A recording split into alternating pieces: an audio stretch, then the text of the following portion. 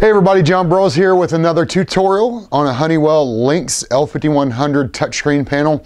And this one is uh, how to wire in a hardwired siren. Now these panels do have wiring terminals for a hardwired siren, but the outputs are so low that you need some help. So basically you need a power supply set up and uh, I'm going to show you uh, in this next bit of footage on how to go about wiring that into your L5100 panel so you can get that loud, powerful outdoor siren that you need.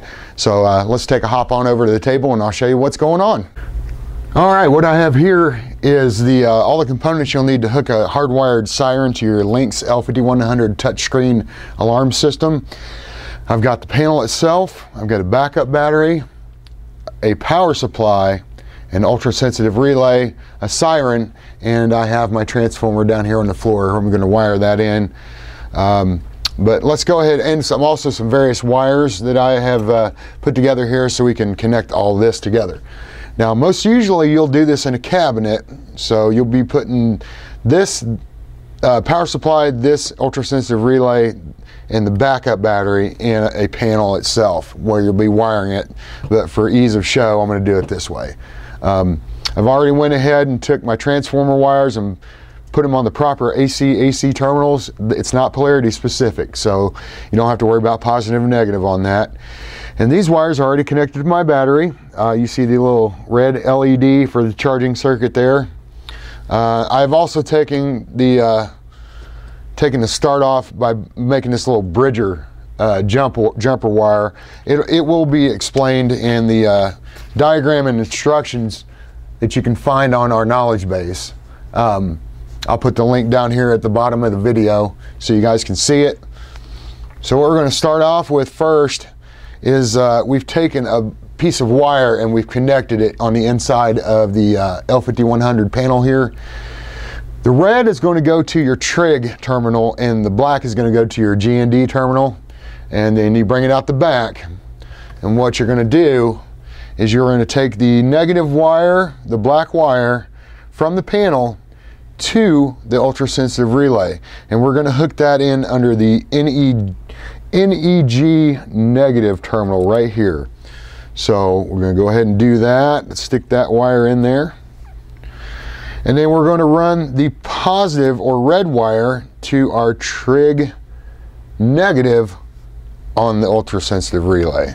So I can just go ahead and kind of maneuver it in like this, put it under that terminal, screw that terminal down since that's the only wire that that one's going to be accepting.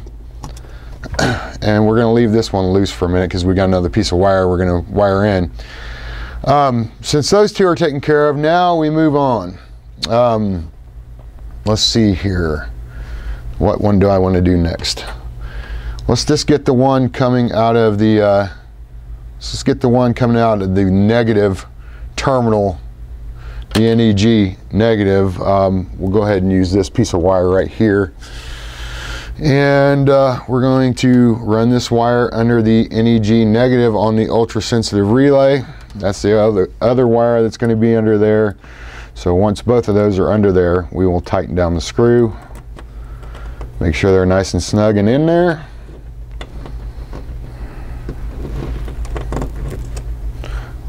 All right, yep, they are nice and secure.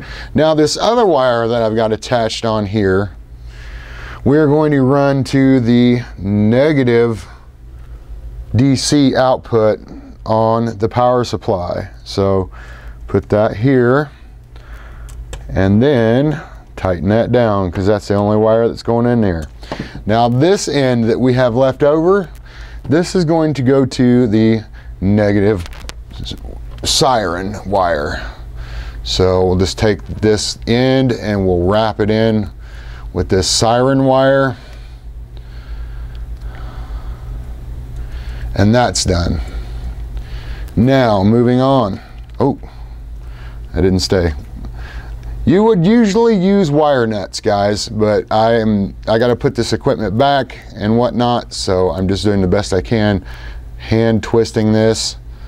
Um, yeah, but use wire nuts or splice connectors.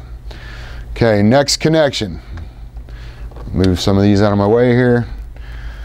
The next connection, we are going to go from the positive of the power supply. So I've got another piece of, two pieces of wire I've put together. Going to put the joined end underneath the positive DC output terminal on the power supply. Let's get it in there, make sure it's nice and snug and in, tighten it down. These other two wires, I'm going to run one to the NO terminal on the relay and I'm going to tighten that down.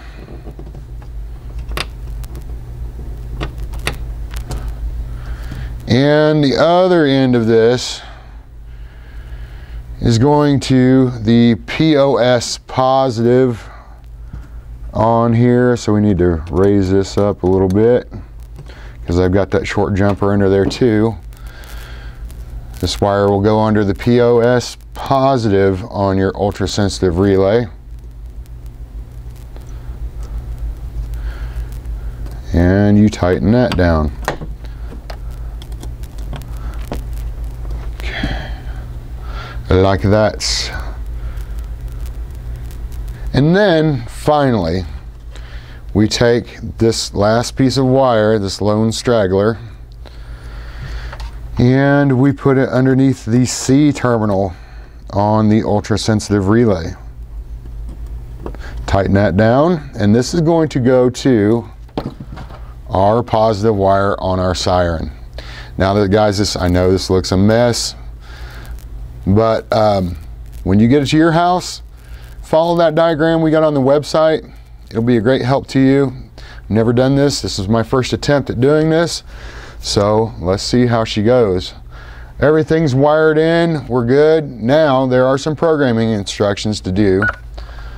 Uh, here we hit, need to hit the More tab. Then we go to Tools, enter in your installer code. Then we go to Rules.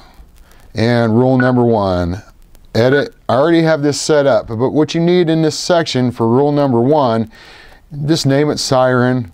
The type is trigger output, action permanent on, start zone type not used, stop zone type not used, start system operation, any burglar alarm, and then stop system operation at bell timeout.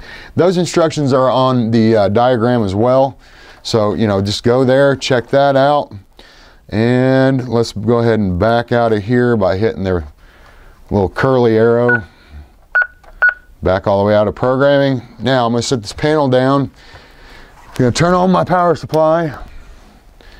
And what I'm going to do is I'm going to hold down the panic key on this panel and hit police.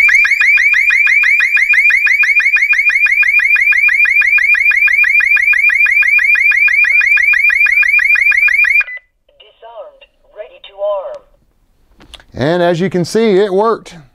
So that's it, folks. That's how you hook up a power supply with the Ademco 12612 and the Altronix ultra sensitive relay we have on the site, as well as the other accoutrements. If you got any questions, give us a call. All right, we're back. Now, that's how you go about doing it. Like I said in that piece of footage there, it is a little messy with how I had everything set up, but you get the basic idea. Now that, like I said, that's all going into a cabinet, so you can rearrange and make everything look perfect and uh, fit how you need it to fit. So, um, but that's it. That's basically how you do it. And uh, if you have any questions, give us a call, 888 811 0727. Choose option number two on the phone menu, and our tech guys will be happy to help you out. It's Jon Boroughs, alarmsystemstore.com. We'll talk to you again soon, guys. Have a good one.